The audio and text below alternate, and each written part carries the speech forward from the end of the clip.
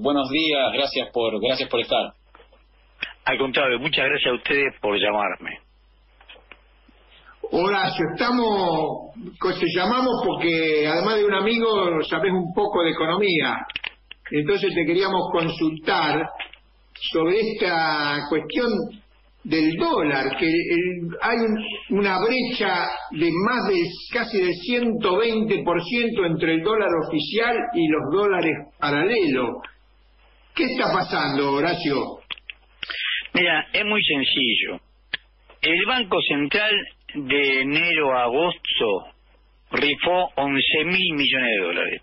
11 mil millones de dólares que son lo que faltan y que por supuesto lo que lo sacaron sabían que le iban a faltar y que íbamos a tener este final. No es una historia muy distinta a la que vimos con Rodrigazo, la que vimos con Martínez Dios, que repetimos después con, con Zurruy, con Caballo, con Macri. Es la misma historia de siempre. El Banco Central de la República Argentina le adelantó importaciones por 5 mil millones de dólares a grandes empresas. Todos sabemos que son los grandes importadores. Tenemos las empresas automotrices, tenemos el grupo Requiam, tenemos el grupo Roquio, el grupo Roca de Techín, los Pérez Compán, los Aceiteras General de esa. O sea, los grandes importadores le permitió adelantar 5 mil millones de dólares y el producto todavía no llegó a la Argentina. O sea, en medio de la crisis cambiaria, nosotros teóricamente tuvimos un superávit comercial de enero a agosto de casi 11 mil millones de dólares. O sea, las exportaciones superaron las importaciones en 11 mil millones de dólares. Sin embargo, le permitió a estos importadores adelantar el pago de importaciones, compraron dólares, se aseguraron el cambio, compraron dólares de 70, 80 pesos al dólar oficial para importar por 5 mil millones de dólares. Y además, le permitió al Banco HCBC, al Banco Alicia, al Grupo Ornequian, al Grupo Macri, a Perecompan, a Aceitera General de ella, a empresa AES, que es una empresa norteamericana, al Grupo Einstein, que es el que tiene banco hipotecario, Cresut, que tiene los principales shopping del país, a Petroquímica Comodoro Rivadavia, le permitió a todos ellos pagar supuesta deuda, al Grupo Pagani y al Grupo Arcos, supuesta deuda externa por 6.200 millones de dólares. O sea que todo el superávit comercial, el Banco Central reconoció que tenían deuda externa. Ahora, el mismo Banco Central hizo un estudio, porque tiene los datos, que demuestra que en la gestión de Macri se fugaron 86.200 millones de dólares.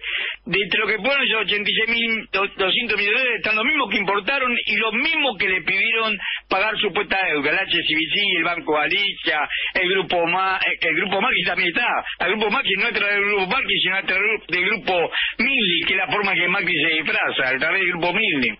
Bueno, que es Pampa Energía a, Pampa Energía, al grupo Techina, a todos ellos les permitió o importar y o pagar su puesta de eterna cuando son los mismos que fugaron. Bueno, evidentemente esto explica por qué estamos en la ciudad que estamos. Nosotros nos enteramos ahora. Yo, para ser sincero, me enteré el viernes pasado.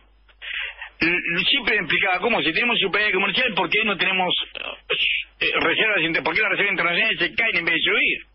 Tenían que aumentar las reservas internacionales. Bueno, ¿por qué?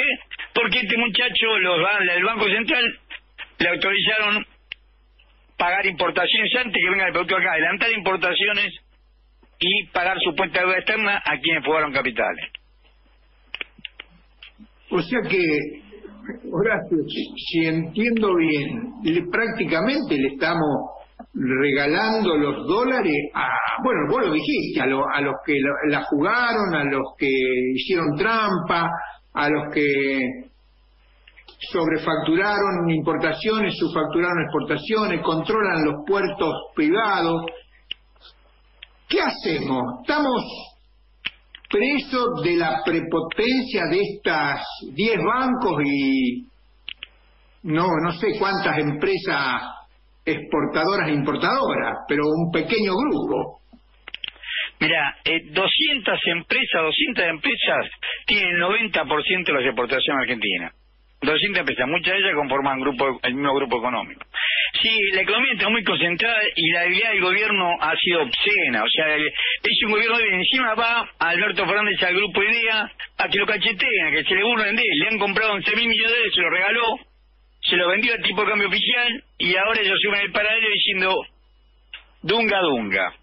Bueno, lo que pasa es que el Dunga no es para él, el Dunga es para el pueblo argentino. A él le contará el gobierno, pero lo que vamos a traer mal somos nosotros. Repiten la misma historia que el Rodrigazo, pero la misma historia, la misma historia.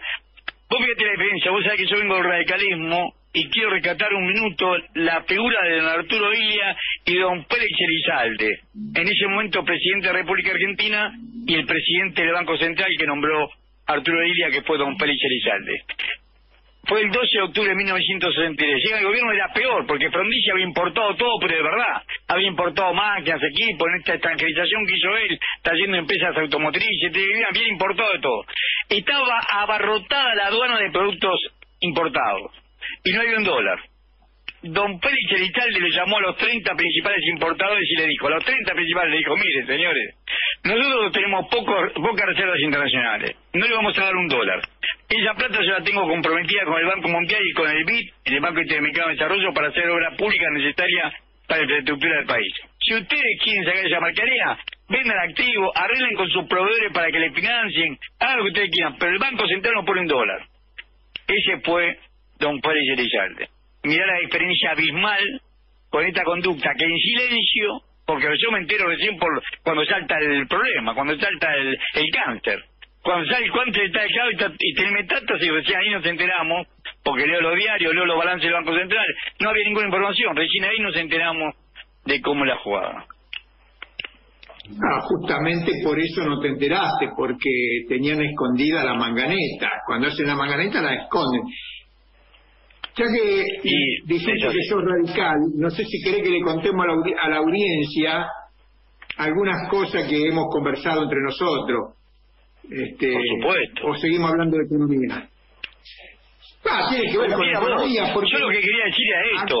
Nosotros la debilidad que tenemos con el dólar hoy es porque se fueron los 11 mil millones de dólares de superávit. No hay un dólar, hay muy pocos dólares de IBE disponibilidad porque los dólares que tenés son los depósitos del público en los bancos es el encaje que está en dólares, tienen depositan en dólares, el encaje ya en dólares, casi 19 mil millones de dólares son swap con China, hay que ver si China te deja vender, porque son plata que China te da para que vos le compres productos a ellos. Y después eh, eh, oro y algunas otras que son no prendables, que nosotros tenemos inclusive en Inglaterra como resguardo de la moneda. No queda mucho dólar disponible. Según el vicepresidente del Banco Central, son 8 mil millones de dólares. Yo no lo pongo en duda. Pero ya a esta altura del partido del Banco Central, a este Banco Central no le quiero nada. Ahora, Horacio, eh, eh, ¿cuál, ¿cuál sería la política que debería en lo urgente adoptar el, el gobierno para, no sé, para parar la fuga de dólares o, o para que la economía quede tan prendida a la cuestión de la cuestión del dólar, de que todo todo esté atado a eso? Porque bueno, ahora vemos la suba del, de las naftas por parte de IPF, vemos que también la, inflación se va por las nubes como siempre, ¿no? Pero bueno, eh, ¿cuál sería la, política urgente al día de hoy que debería adoptar el gobierno? bueno, en primer lugar, el tema del dólar no es un tema, nosotros estamos mucho más internacionalizados de lo que generalmente se dice todos los precios nuestros, nosotros exportamos alimentos, todos los precios nuestros están referenciados con el dólar. Aumenta el dólar, aumenta el precio de los alimentos, aumenta la nafta como chiste por cien. O sea, no es que, que el dólar es algo ajeno para nosotros, derrapa el dólar y derrapa nuestro dinero. Está atado, el nuestro dinero está atado al dólar porque nosotros vendemos alimentos y nuestras exportaciones están atadas al dólar.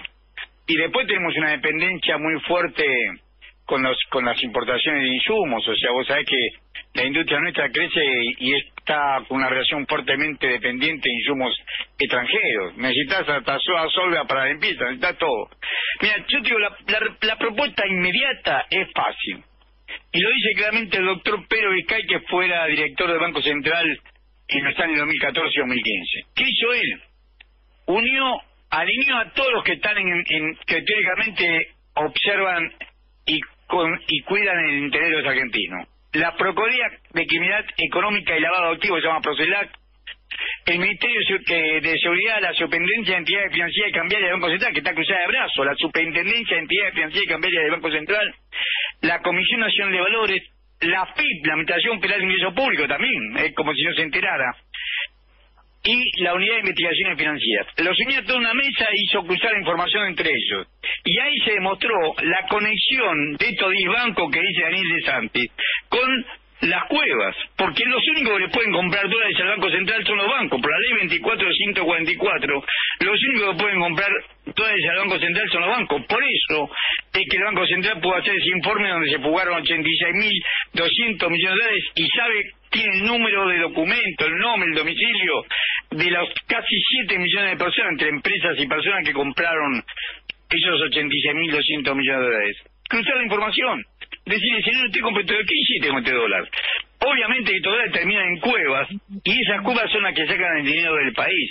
Y por supuesto, como hubo muchos que le creyeron a Macri y compraron títulos argentinos en pesos argentinos, como los famosos botes, y me estoy refiriendo a Pinco y a Franklin Templeton, hoy andan todo por eso pérdida y tratan de irse a cualquier precio porque temen que acá se produzca una nueva devaluación, una nueva salto cambiario, y que yo el dólar está a 170 pesos, mañana esté 180 y la segunda semana 190 y 200.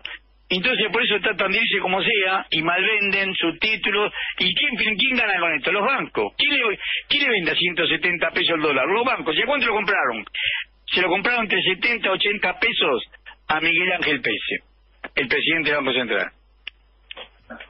Eh, Horacio, todo, lo que decís me hace reflexionar como militante de que tenemos que terminar con varias cosas que son muy falsas. Por un lado, con la grieta, y, que tiene que ver con eso la rivalidad entre radicales y peronistas, porque acá tenemos gobiernos radicales neoliberales y gobiernos peronistas neoliberales y tenemos gobiernos radicales y peronistas que ha sido eh, lo contrario dentro del capitalismo.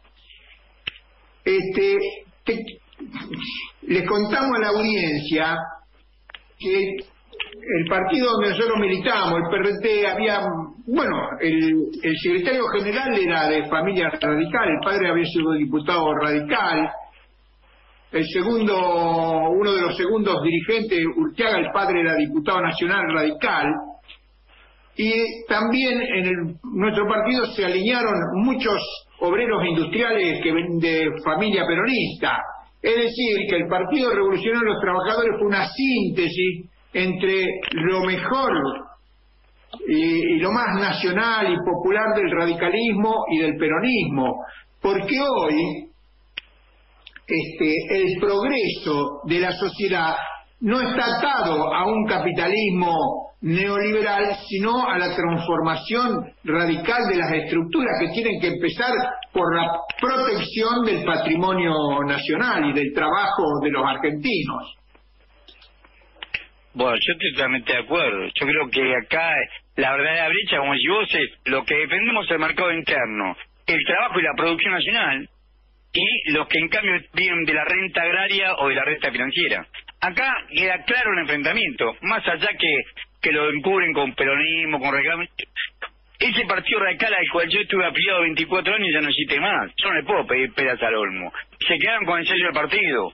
Que no tiene nada que ver, vos hablar del Cordobazo, y yo me acuerdo enseguida de Santiago Pampillón, que era un estudiante radical, o de Máximo Mena, que era un obrero radical vos le llevas estos nombres a, la actual conducción del radicalismo, a Santa, a Cornejo, a todos estos hijos de, y se, se creen que son todos comunistas infiltrados, creen como Perón, que eran todos infiltrados en el movimiento.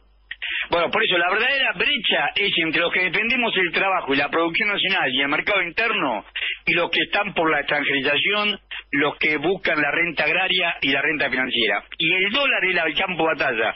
porque ellos quieren un dólar contra alto para ganar plata? Los exportadores que más quieren, que le den más peso argentino para tener por cada dólar que obtienen afuera mayor, mayor poder adquisitivo. Y cada vez que sube el dólar, nuestro salario se cae. La puja es el dólar. Si el gobierno cede, cede una vez más, no llevan puesto y esto se produce como ruderías. Ahora, si el gobierno logra acordar, logra poner el límite, para eso está la superintendencia de actividad financiera y cambiaria del Banco Central, va y mete preso a un par de tipos a la cueva, le dice a los muchachos, esto se acabó, dejen de joder con esta timba, esto se acabó, no pueden tener 170 pesos moviendo 18, 20 millones de dólares por día y que toda la economía esté alrededor de esto. Ahora, yo no sé si este gobierno lo va a hacer el que menos lo va a hacer es la actual conducción del Banco Central, que fue el que permitió todo esto. Primero hay que echar a la gente del Banco Central por inútiles, como mínimo por inútiles. Y segundo, hacer un plan de acción, como dice el doctor Pedro Vicay, de coordinar todos los mecanismos que tiene el Estado para que el poder de policía, pero el poder de policía financiera, no el poder de policía de, de, la calle, el poder de policía financiera se aplique con todo el rigor que dice la ley. Bueno, perfecto, Horacio. Eh, esperemos que eso suceda en algún momento. Eh, bueno, son las son la una de la tarde, estamos en el top del programa. Eh, te agradecemos eh, nuevamente tu, tu participación y seguramente te estaremos llamando en alguna otra oportunidad porque, bueno, eh, sabemos que sabes mucho y este tema da para largo. Así que, bueno, te agradecemos, eh, compañero Horacio, tu participación. Bueno, muchas gracias por el concepto, un gran abrazo y saludos a mi amigo Daniel. Horacio, y está, tenemos la consigna, renuncia de la presidencia del Banco Central. Todo el directorio, todo el directorio ha sido cómplice. ¿Cómo van a vender 11 mil millones de dólares? Todo el directorio hay que echarlo. Bueno. Un abrazo, Horacio. Gracias, che. Bueno, así ha, así ha pasado el compañero Horacio Robelli, al que agradecemos por nuestro programa.